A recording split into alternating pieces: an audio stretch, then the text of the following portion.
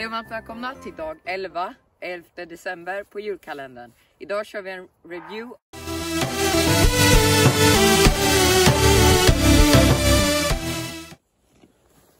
Så här ser den ut. Air är ju lättviktsdiskar. River finns ju också i vanlig eh, optoplast. Och eh, retroplast också tror jag. Eh, så den här är Eh, den disken jag använder för Heisflip. Eh, men nu ska vi inte prata så mycket om vad jag använder den för utan vad det finns för olika användningsområden för det här.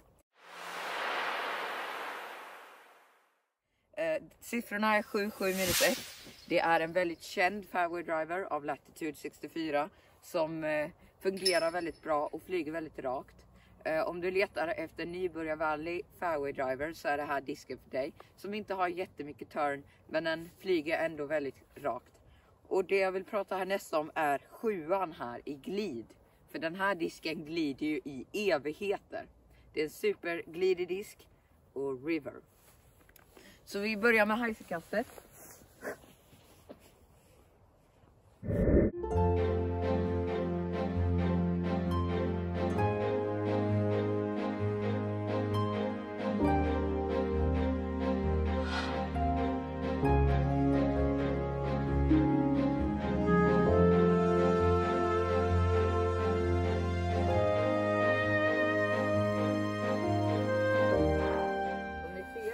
Ser den upp ganska fint och sen har den minimal fade i slutet. Eh, så det är det jag använder den för mest. En Heisenflip disk som är väldigt eh, stabil och man kan lita på den väldigt mycket. Eh, och den har inte så mycket fade heller. Då var det dags för det raka kastet med River Air.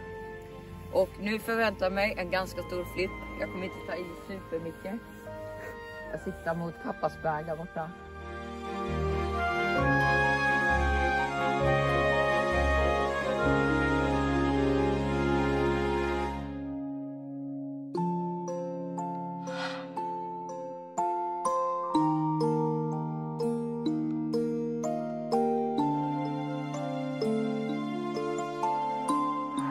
Inte i så mycket och jag la en nose up, vilket betyder att det inte blev så bra som jag hade tänkt.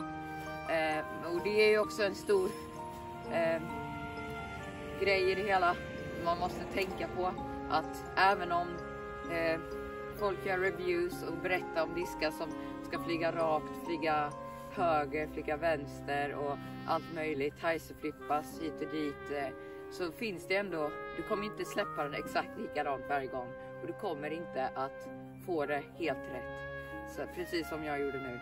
Så att det är omöjligt att veta vilken disk som passar dig om du inte testar dig fram. Och sen måste du, ett tips är också, spela in diskarna så du vet vilka som passar dig.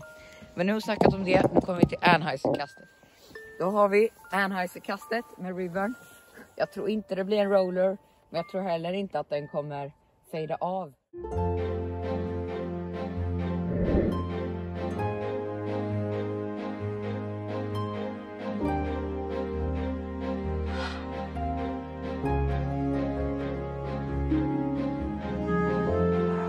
precis som jag trodde en cut roll.